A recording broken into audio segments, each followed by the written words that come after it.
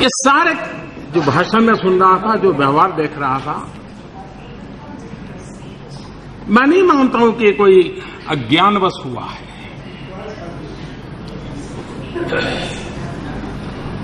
और न ही ये झूठे आत्मविश्वास के कारण हुआ है।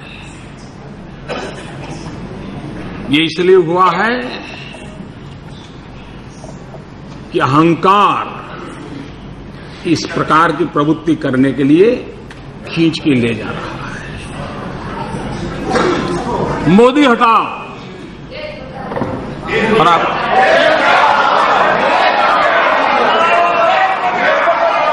और मैं हैरान हूँ आज सुबह तो। मैं तो हैरान हूँ आज सुबह भी कि अभी तो चर्चा प्रारंभ हुई थी। मतदान नहीं हुआ था। जय पराजय का फैसला नहीं हुआ था। फिर भी जिनको यहाँ पहुँचने की उत्साह है, उठो उठो उठो।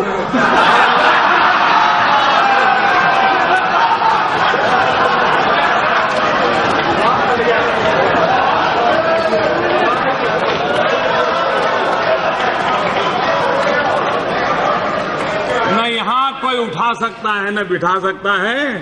सवा सौ करोड़ देशवासी बिठा सकते हैं। सवा सौ करोड़ देशवासी उठा सकते हैं।